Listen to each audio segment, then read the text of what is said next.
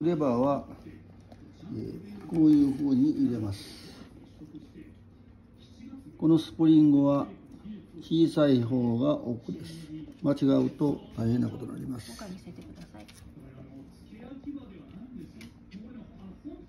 さい方が奥です。とりあえず途中まで止めます。次によいしょ前フォークを持って持ち上げます。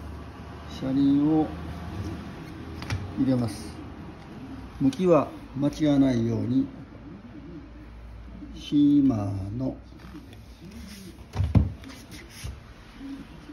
向きが間違っても安全性には問題ありませんが見た目の問題です。島の。かな。次に左側のネギを締めていき締め加減を確認します。これはまだ全然緩いです。だいたい45度ぐらいのところで硬くなります。ここは目安で。この角度。硬くなる角度。一旦ここでこっちから見たとき四十五度。ここで一回締めてみますで締まった感じがしっかり締まったなという感覚があれば大丈夫です。もしかこれが硬すぎたら締まりません。緩すぎるとふにゃふにゃで締まってしまいます。だから大体目安は45度で一回締めてみてあししっかり締まってるなという感覚で OK です。あとはタイヤが車輪がここのちょうど真ん中に来るように。